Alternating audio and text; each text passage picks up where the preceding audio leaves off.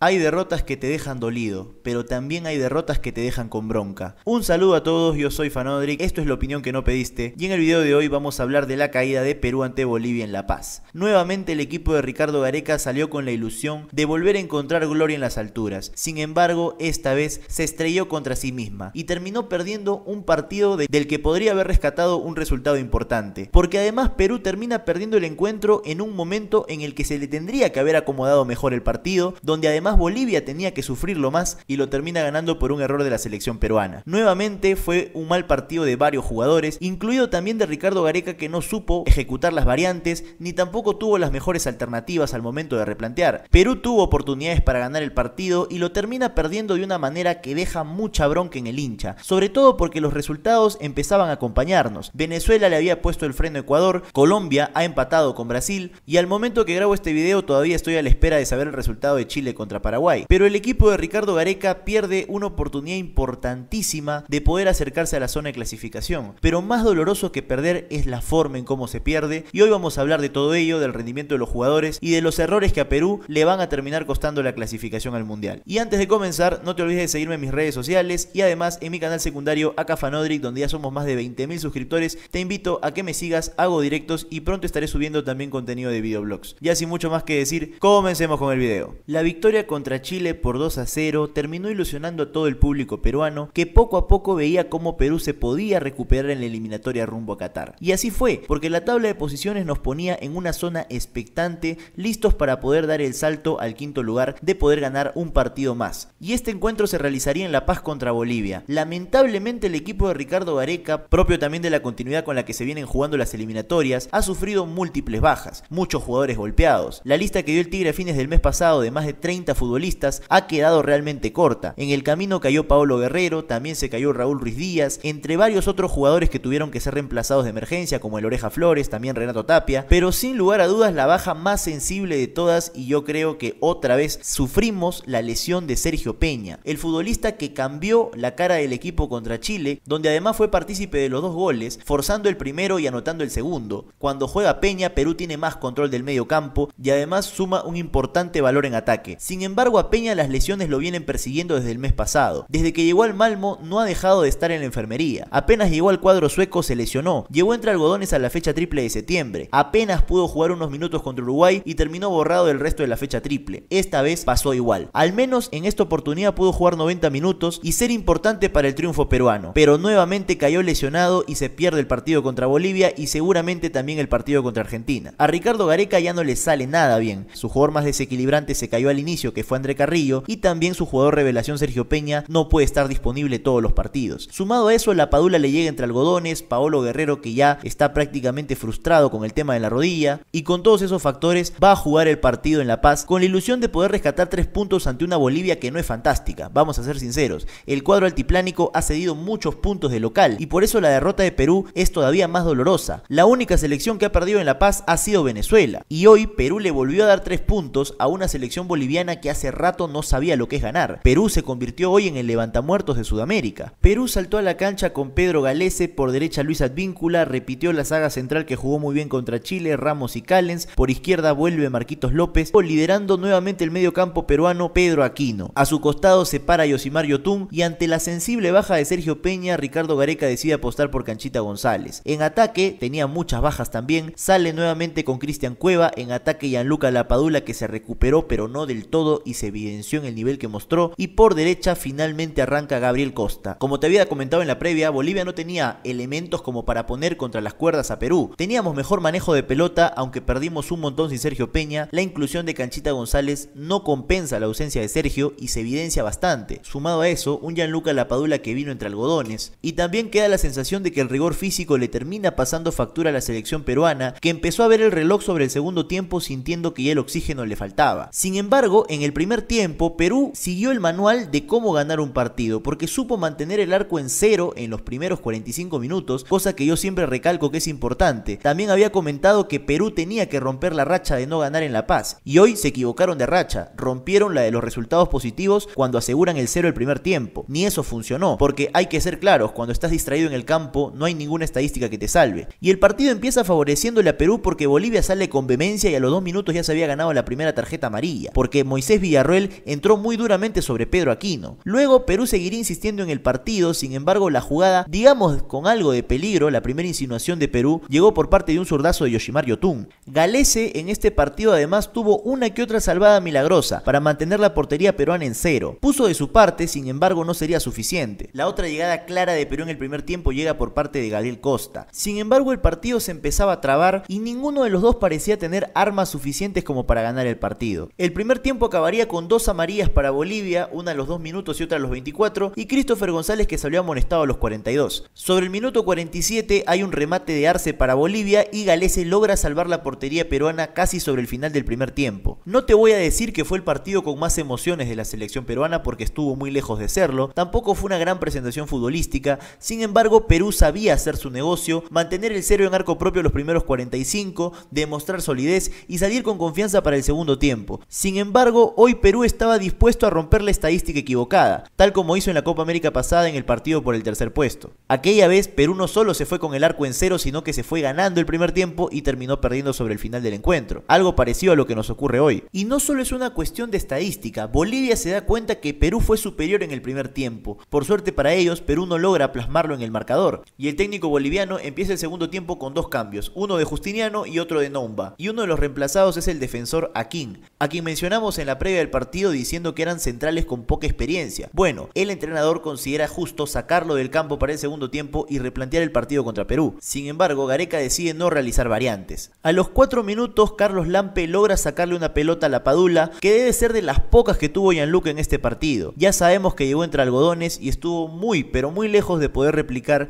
las corridas memorables que hizo en la altura de Quito. El Tano no ha venido en su mejor nivel, no ha venido en su mejor estado físico, en el Benevento parece que lo están pateando mucho.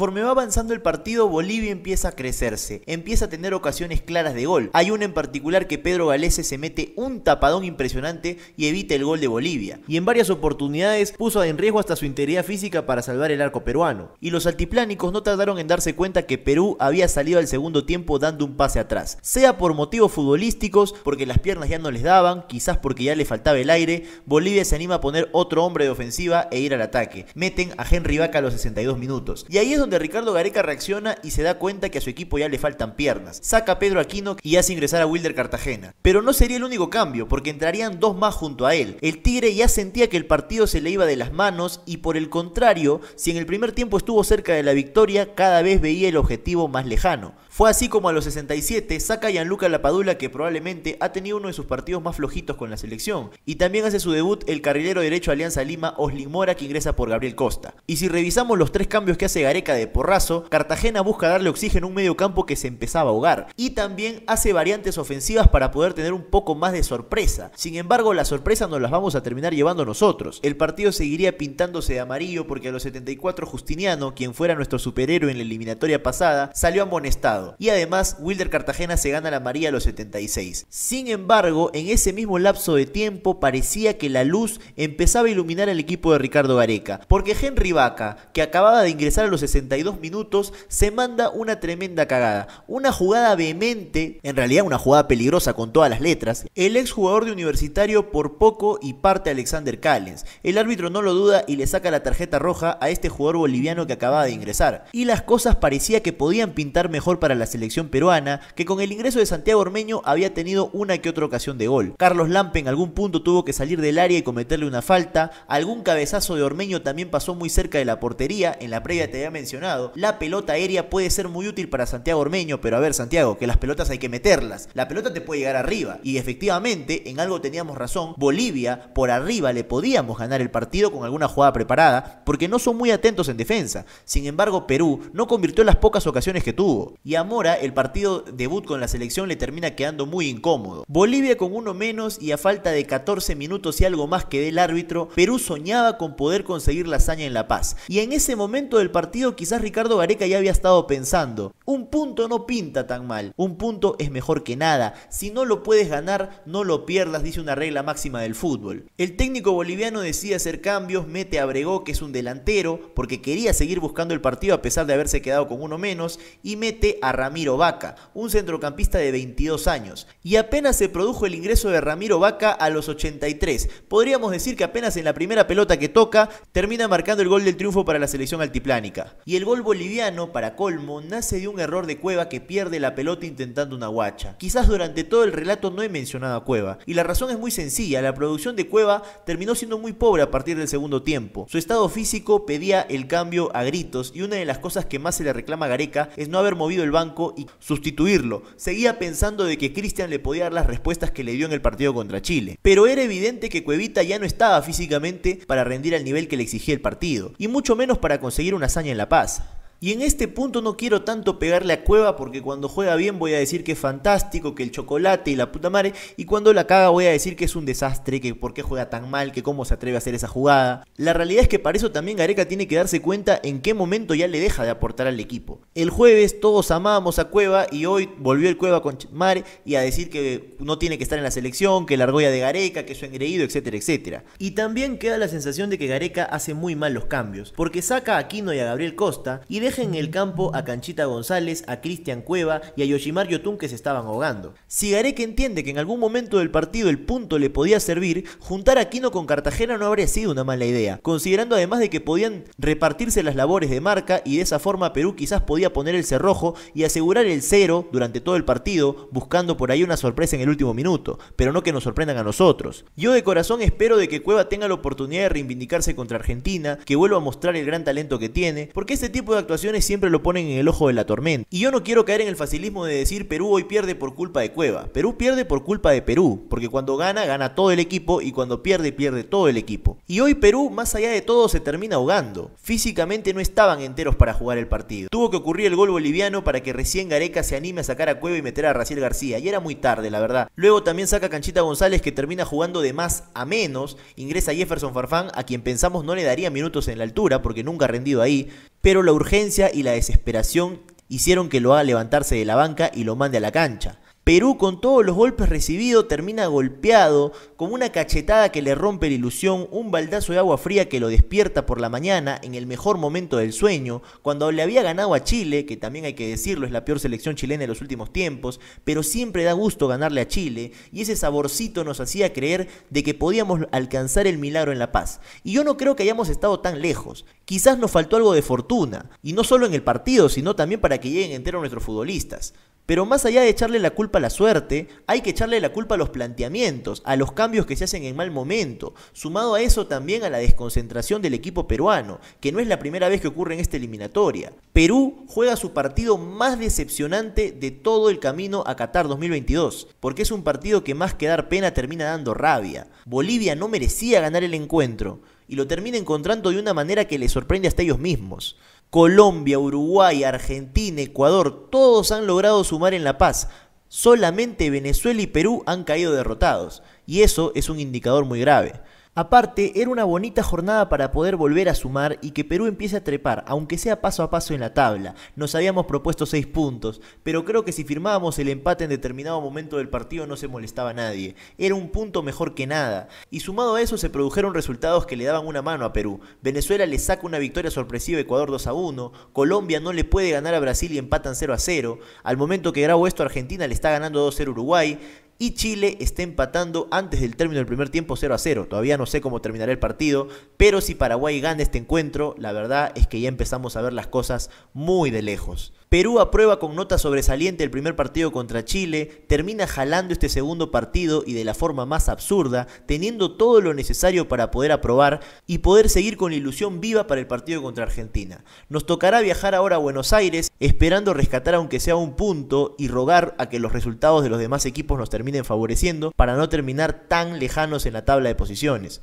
Si hay algo que me invita a creer es que esta selección juega los mejores partidos cuando nadie cree en ellos, y seguramente para el partido en Buenos Aires la expectativa será muy baja. El equipo de Ricardo Gareca hoy ha roto más de un corazón, pero ya sabemos que la barra peruana, la mayoría, no todos, es y seguirá siendo incondicional más allá del resultado porque la selección peruana es así, es una pasión, es el amor por la patria y hoy tocará masticar bronca, pero habrá que mirar el siguiente partido porque tampoco queda de otra. Si bajamos los brazos nos pueden llenar la canasta y nadie quiere eso. Y bueno, eso ha sido todo por el video de hoy. Les agradezco por haberme acompañado hasta este momento. Es una sensación muy fea la de ver cómo a Perú se le escapa un partido de esta forma. Además el sinsabor de que se siguen cayendo jugadores partido tras partido, fecha tras fecha. No recuerdo desde la época de Marcarián que a la selección peruana se le caigan tantos jugadores previo a un partido. Y sin embargo Gareca tiene que lidiar con todo esto. Lamentablemente hoy se equivoca en el tema de los cambios. Perú físicamente no está entero porque además la seguidilla de partidos viene matando a las selecciones que tienen plantel corto como nosotros. Pero bueno, Todavía queda esperar los siguientes resultados, esperar a ver qué ocurre el jueves en Buenos Aires y a ver si el equipo de Ricardo Gareca se revela ante la adversidad. No olvides de seguirme en mis redes sociales y de suscribirte a este canal si todavía no lo has hecho. Aquí hay contenido variado. Subo videos de fútbol internacional, también del fútbol peruano. Y aquí hay otros videos que te pueden gustar. Y sin mucho más que decir, me despido. Nos estamos reencontrando en un próximo video. Y así estemos masticando bronca, no importa, siempre. Arriba Perú.